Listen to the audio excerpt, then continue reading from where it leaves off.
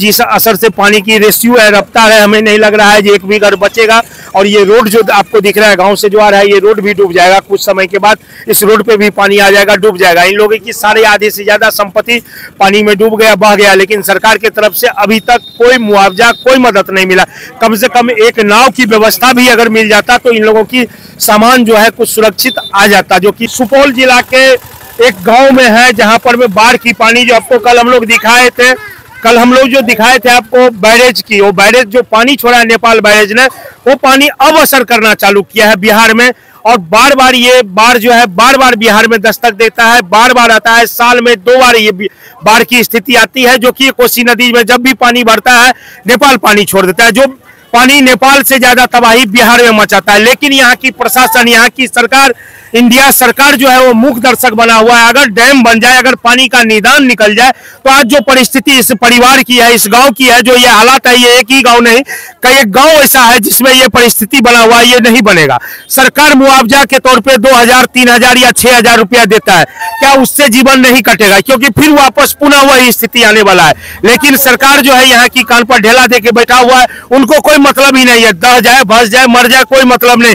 जब वोट आएगा, इलेक्शन आएगा तो विधायक, सांसद आएँगे वोट लेने के लिए, पैर पकड़ने के लिए हमको वोट दीजिए, हम आपका मदद करेंगे। लेकिन जब ये परिस्थिति आता है तो इस समय में ना तो कोई विधायक, ना सांसद, ना सरकार कोई नहीं मदद करने के लिए आता है। आज इन लोगों की घर की जो नुकसान हुआ है, उसका भरपाई कौन करेगा?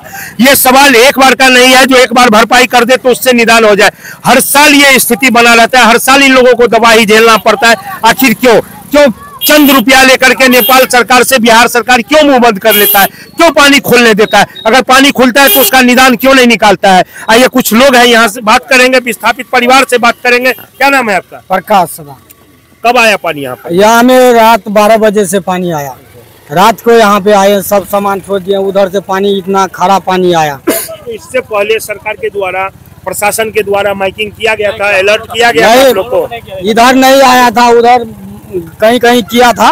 इधर नहीं किया आप लोग के इधर नहीं अनाउंस किया है? नहीं हम लोग नहीं पता कौन सी गाँव है? हंसा नौवा बाखर पर सही है। नौवा बाखर परसाही हाँ। ये सुपौल जिला में सुपौल जिला में पड़ता है। इधर प्रशासन के द्वारा अलर्ट नहीं किया गया? जानकारी कुछ नहीं दिया जानकारी कुछ नहीं इधर नहीं आया। रात में हम लोग का मोबाइल पर देखिए उधर पानी आ गया नदी में तब उधर पिछले नदी काट में एक बाँध है ना वो टूट गया सीधा पानी इधर आया। सीधा पानी इधर हाँ। लेकिन थोड़ा गाड़ी आगे बढ़ा लीजिए जाम लग रहा है। क्या अभी प्रशासन के तरफ़ से कोई मदद आप लोग को मिला है? नहीं कुछ नहीं मिला है। खोज खबर करने आया कोई नहीं आया आया था इधर उधर घूम के फिर निकल निकल के आ रहे क्या नाव की व्यवस्था दी गई नहीं कुछ नहीं हेल डूब के सब आया वहाँ पे पुल भी टूट गया दो पुल वो भी टूट गया। पुल भी टूट हाँ गया। पुल भी टूट गया। प्रशासन की तरफ़ से कोई मदद नहीं कोई मदद नहीं कोई नहीं मदद मिला है। आप लोग कैसे सामान सब ला रहे हैं इधर?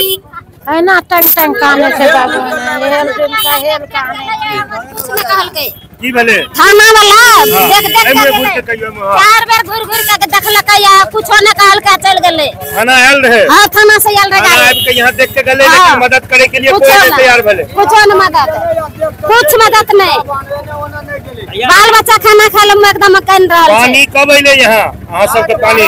बात एक बजे मैले पानी हाँ। रात बारह बजे में हाँ।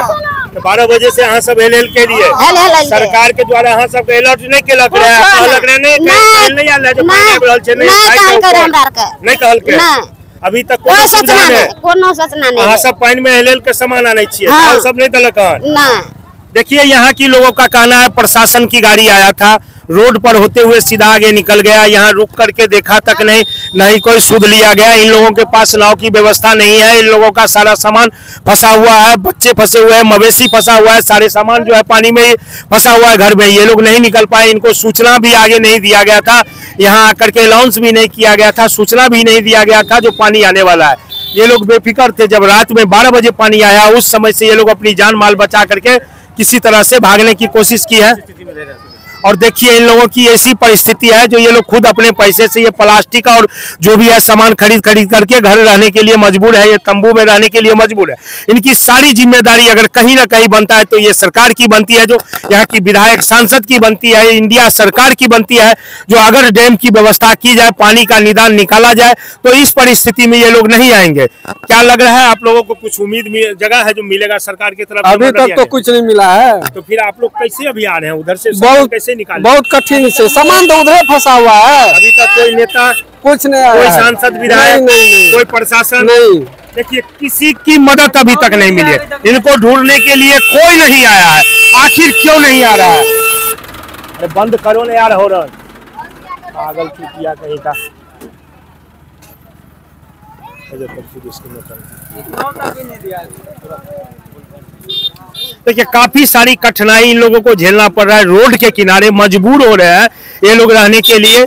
इन लोगों के पास अभी तक सरकार की तरफ़ से कोई सहायता नहीं आया है। और इधर जो परिस्थिति बन रहा है, पानी हाथ पे हाथ चढ़ा जा रहा है। पानी जिस असर से पानी की रेस्क्यू है, रफ्तार है, हमें नहीं लग रहा है कि एक भी घर बचेगा। और ये रोड जो आपको दिख रहा है, गाँव से जो आ रहा है, ये रोड भी डूब जाएगा। कुछ समय के बाद इस रोड पे भी पानी आ जाएगा, डूब जाएगा। इन लोगों की सारे आधे से ज़्यादा संपत्ति पानी में डूब गया, बह गया। लेकिन सरकार की तरफ़ से अभी तक कोई मुआवजा, कोई मदद नहीं मिला। कम से कम एक नाव की व्यवस्था भी अगर मिल जाता तो इन लोगों की सामान जो है, कुछ सुरक्षित आ जाता, जो कि नाव नहीं है, जिसके कारण इन लोगों का आगे एक पुल छोटा सा था जो टूट गया, वहाँ पे भर छाती पानी है। उस पानी में तैर के मजबूर होकर के, हेल करके जिसको हेलने आता है, तैरने आता है, वो तो अपना सामान ला रहा है। बाद बाकी लोगों को काफ़ी सारा कठिनाई है। देखिए, अभी ये लोग घर बनाने के लिए कैसे बाँस गाड़ करके बम्बू गाड़ करके बाँस, देखिए, बाँस बल्ला लगा करके रहने के लिए मजबूर मजबूर है। और काफ़ी सारी परेशानी का सामना करना पड़ रहा है इन लोगों को। देखिए, गाड़ी भी आने जाने के लिए आवाजाही भी अवरुद्ध हो रहा है और कुछ समय के बाद लग रहा है जब रोड जगह नहीं है, कहाँ बसेंगे लोग, कहाँ रहेंगे? रोड पे ही रहना पड़ेगा, मजबूरी है। अभी तक गवर्नमेंट की तरफ़ से कोई सुविधा नहीं। जानवर सब भी भूखा प्यासा यहाँ पे खड़ा है। देख रहे कैसे जानवर सब भी है। कुछ जानवर तो पानी में दह गया, बस गया, कुछ जो बचा किसी तरह से संभाल के लाया तो वैसे ही बैठा हुआ है। जानवर भी भूखा मर रहा है। देखिए, मजबूरी इतना है जो पोल में बांधने के लिए मजबूर है। बिजली की पोल में जानवर को बांधने के लिए लोग मजबूर है। यहाँ पे इस इस परिस्थिति में चल रहा है और चारा की तो कहीं व्यवस्था ही नहीं है। पता नहीं है जानवर क्या करेगा। बेजवान जानवर की क्या कसूर है। क्यों इतना परेशानी करना, झेलना पड़ रहा है, हो रहा है? ये भगवान भरोसे है। अब ये लोग को पता नहीं कौन मदद करने आएगा, नहीं आएगा। क्या नाम है? किशोर इसी गाँव के रहने वाले मैं इस गाँव का रहने वाला जी जी। क्या इधर लोगों को छानने के लिए बचाने के लिए आए हैं देखने के हाँ वही देखने के लिए आया बचाने के लिए आया है। हाँ हाँ, मदद कीजिए इस मुसीबत में लोग एक दूसरे की मदद करता है। जी, जी। सरकार नहीं मदद कर रहा है ग्रामीण तो मदद करे कम से कम ग्रामीण की मदद। से लोगों को बचाया जा सके। आप लोग जाके मदद कीजिए इनको बचाइए। जी जी। सरकार की तरफ़ से तो अभी तक कोई इन लोगों को सुख साधन नहीं मिला है। जी नहीं मिला है अभी कम से कम एक नाव की अगर व्यवस्था करता तो कुछ जान बच सकता था। हाँ जी बच बच सकता था।